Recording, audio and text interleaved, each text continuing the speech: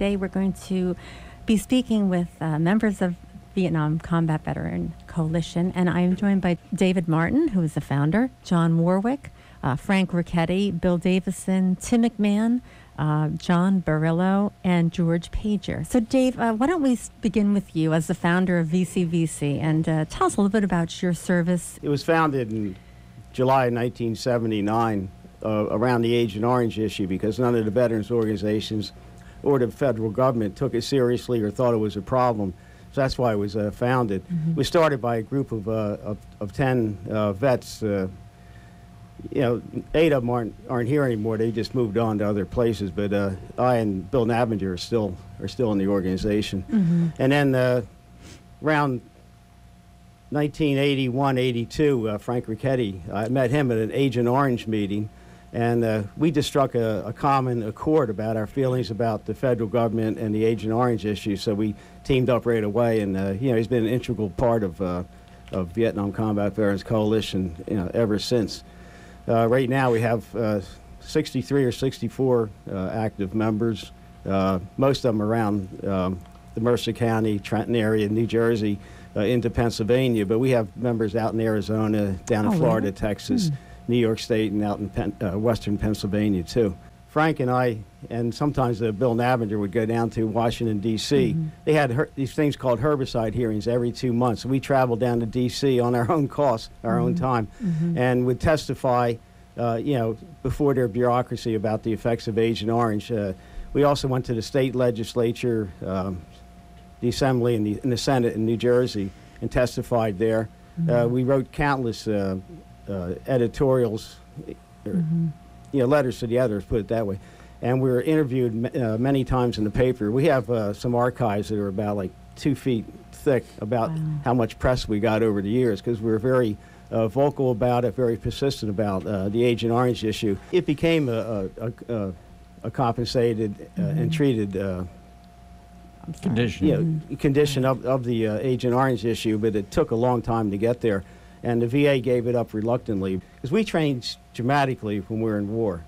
And to come back to a country and, and be underappreciated like we were, it was a real uh, culture shock, you know, mm. and it it, uh, it affected a lot of us. And they, some of our guys like committed suicide or they went and uh, lived in like Washington State, like Western Washington State in the rainforest, or up to Alaska, mm. and uh, or you know some of the guys uh, went on to uh, drugs, alcoholism, or just be plain loners, or else they just um, put a mask on for the whole world, and uh, you know they hurt on uh, you know privately on their own. The new veterans, the Iraqi and the Afghanistan ones, and and other places we may be in the world uh, as the military, that um, the government and the Veterans Administration would open their arms to these new newest veterans because they understood us so well. But in fact, it's sort of like each generation of veterans, it seems like the government has to learn all over again. And, and that's the incredibly sad part of it is to see these young guys that are committing suicide, at 20, uh, 22 a day. Um, to me, that's just a, unacceptable. Think that these poor guys are going to have to go, th- and women are going to have to go through what we went through, is just unacceptable. Hmm. So it sounds like there's a lot of bureaucracy still in the in the mix. I'm very proud of what I.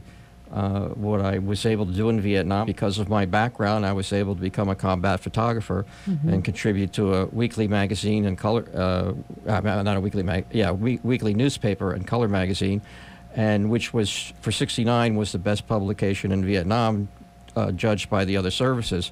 So um, mm-hmm. I, I, got to see the, the good and the bad of Vietnam and the, and the incredible suffering that my fellow veterans and the, and the living conditions that they had to live in. They were there for each other. They were there for each other. And to this day, there's not a one of us that have ever re experienced that level of brotherhood, except within ourselves and our own group that we've created.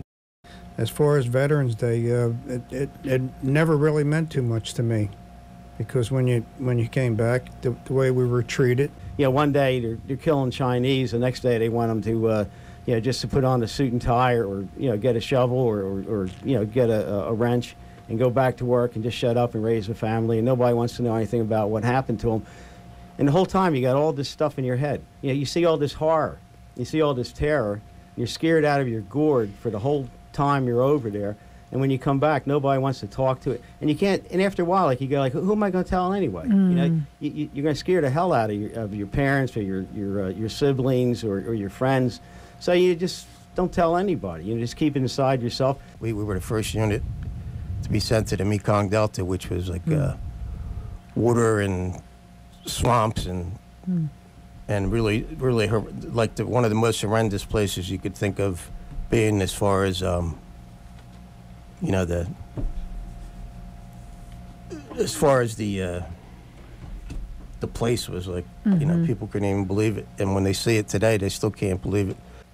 The thing that sent me over the top and Dave and a lot of us was uh, Agent Orange because wh- when we did come back and we, we, we thought we survived the war, but in actuality, a lot of us didn't really because we were we got we were sick. We had um, we had different uh, we had different problems with our skin. We had uh, uh, various things, and and uh, but the the government, our government, said, "Oh no, you don't have anything wrong.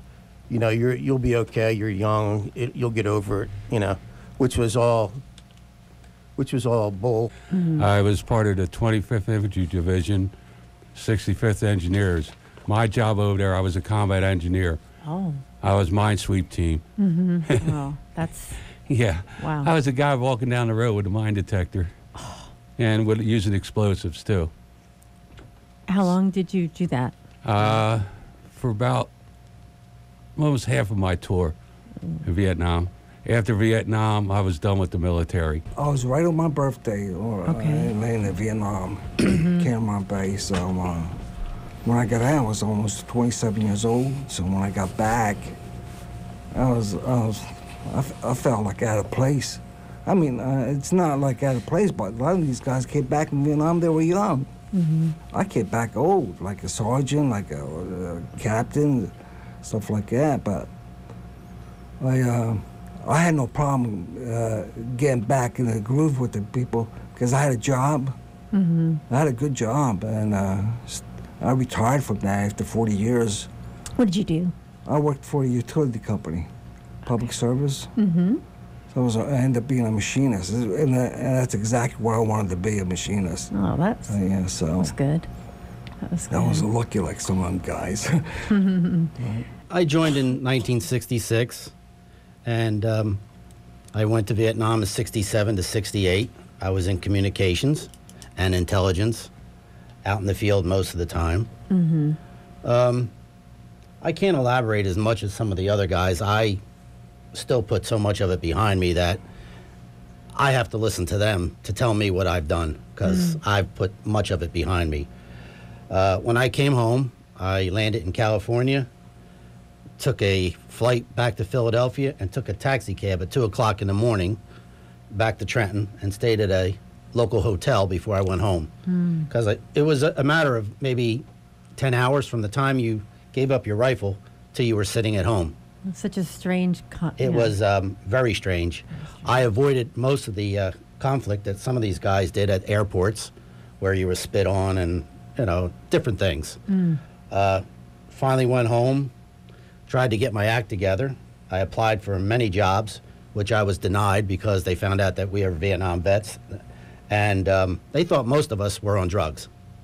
They assumed that we all did that, and. Um, You were denied a job because you were Yes, at? IBM.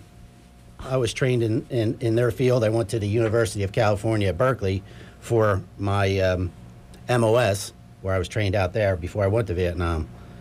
And um, I couldn't get into my field here. Until I met these guys, I was um, very much a loner, and still am. If it wasn't for these guys, I, I, I'd still be stuck in the woods. And, you know, and it's getting crowded up here. It's time to move on also. Even in Kingwood, right? Oh, absolutely. right. You know, when we came up here, it was uh, 5,900 families. I'm sure it's over, you know, Mm-hmm. 3,000 now. So see, it's a testament to your band of brothers and how you've ma- managed to stay together. And, To um, elaborate on what the what the general said about uh, the Yeah, VA, I've yeah. had a few claims in. They told me it's an average of 285 days to look at it. And obviously, the need is is of the moment, and that's I don't think it's too hard to understand if someone has a need of a moment uh, at the moment that's like life and death to them, and they can't be treated for one or two years, and they commit suicide. I don't understand why that's so hard to understand that. The, the government has created a situation of hopelessness, and that person has no one to turn to. And mm-hmm. even if they talk to someone and they feel better talking to them, they still go back to the situation that they came there with, which is they have no hope. A few of us, we know, you know, our days are short, months, years, whatever. These new vets is what I'm concerned about. Okay. Because they have much more to go through uh, i- in some respects. Loss of legs, loss of arms. As long as I can put a fishing pole in my hand, I'm all right. Well, what do you, what would you say to the gentleman, the uh, soldiers coming back now? What would you, what advice would you give them as a, you know, someone who's been looking back and seeing the new, Well, they, they, I'm they have to um, join a veterans organization. I don't care what it is, but they have to. They have to start there, and they have to get a newsletter or a magazine from the vets organizations. They have to read it. They have to search out the, what their benefits are. They have to know what they're entitled to, mm-hmm. where to go for it, and how to how to go about it. And if they join an organization, there's always people in an organization that can guide you through the VA Sure. process mm-hmm. or any other process that you, you would have in your life. I want to end it right there, unfortunately, but thank you so much, uh, Dave, for being here today, and John and Frank Ricchetti, Bill Davison, Tim McMahon, John Barillo, and John George Pager. Did I miss anybody? I don't think so. All right. Thank you very much for being with us today. Yeah, thank, Thank you, Hilary. Hilary.